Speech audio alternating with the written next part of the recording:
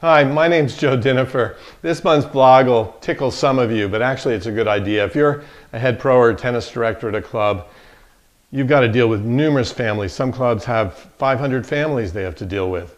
Now, among all those families, a lot of them have young children.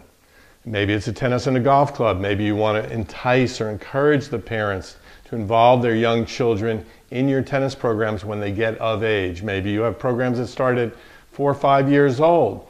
So we want to share with you a bit of a creative idea or a thought that you can give to these families as gifts for their kids or for their newborns when they have an addition to their families.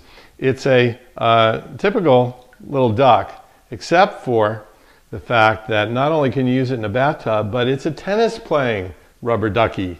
So the cute thing about this is that it floats, and it floats so well that if you turn it upside down, it will go right side up. And I don't know, maybe I'm being a little silly, but it's a cute little tennis playing duck. I wanted to share with you. And you can contact our on-court, off-court offices if you want to get a great price on some of these little rubber duckies to give as gifts. Thank you for joining us.